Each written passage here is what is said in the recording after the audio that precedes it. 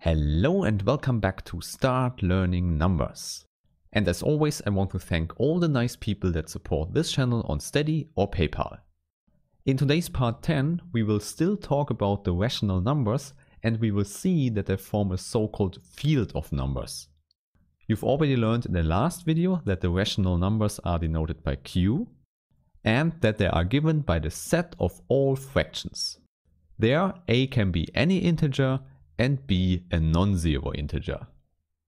But most importantly, two fractions a over b and c over d are the same if and only if a multiplied with d is the same as c multiplied with b. Now, this is everything we need to define our two operations multiplication and addition.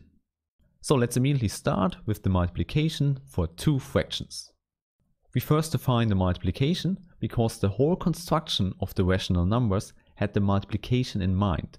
Please remember, we wanted to find inverses. Therefore, this has to be similar to the construction of the integers where we had the addition in mind. Or in other words, we don't have any other choice than using the original multiplication in the numerator as well as in the denominator. Therefore, the new fraction that should come out here has a times c in the first component and b times d in the second component. And of course, everything works as always. Here we have the new multiplication and here the old multiplication.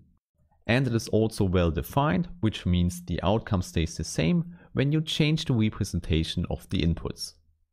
For the proof, I don't have to go into details because we already did this for the integers. For this reason, it might not surprise you that we now have indeed inverses with respect to the multiplication. Now, if a is not 0, we can just calculate a over b times b over a. And this gives us by definition a fraction where the numerator is the same as the denominator.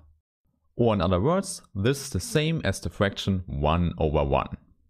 Here you should see this is indeed the identity element with respect to our new multiplication. Therefore, if we have a fraction a over b, the inverse is immediately given by b over a. Now you may remember the equation we had in the last video. 4 times x is equal to 1 was not solvable with integers. However, in the rational numbers q, we can rewrite this equation with fractions. And then of course we are able to solve it with x is equal to 1 quarter. So you see, now we can solve even more equations.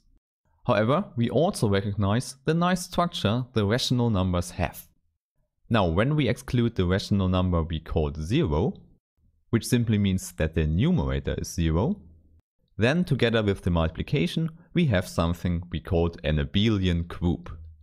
Please recall this means we have for the multiplication the associative law, the commutative law, a neutral element, and also all inverses.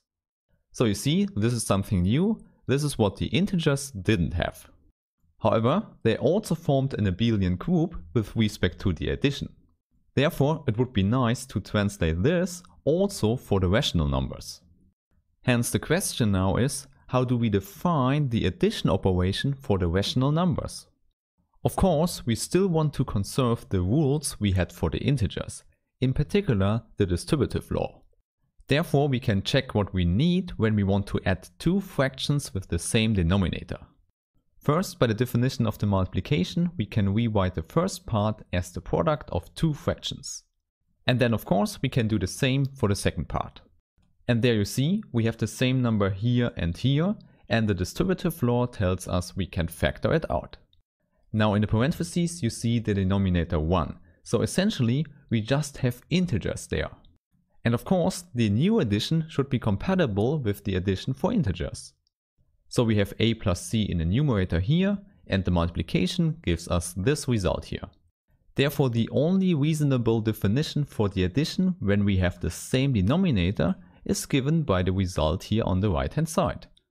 Otherwise we wouldn't fulfill the calculation rules we actually want. Okay, and now we can look at the general case when we have two arbitrary fractions. In the first step, we can multiply the fraction a over b by the neutral element, which can be written as d over d. And in the same way, we multiply the second fraction by b over b. Now using the definition of the multiplication again, we can split up the first part again into two fractions by using ones. And of course we want to do the same for the second part. So now you see we can again factor out this number here when the distributive law holds. Okay, at this point we have the same argument as before. Essentially we have integers again and the addition should act as the old one. Therefore in the numerator we have a times d plus c times b and b times d in the denominator.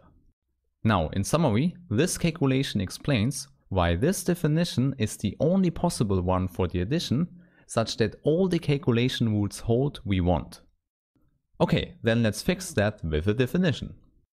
Now the explanation is given as always. Here on the left hand side we define the new symbol, the new addition, by using the old addition for the integers.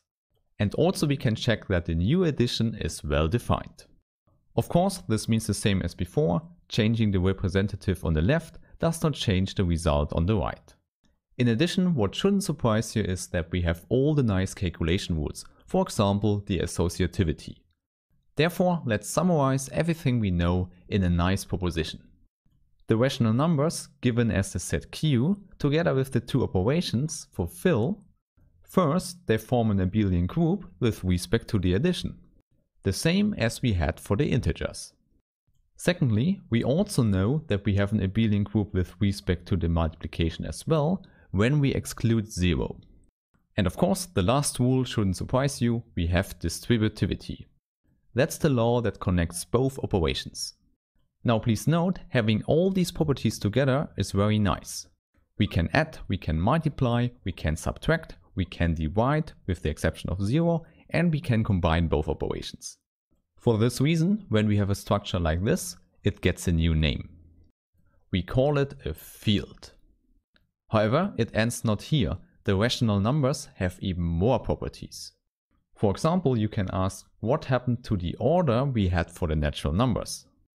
Hence, let's talk about this in the next video. I hope I see you there. Have a nice day. Bye.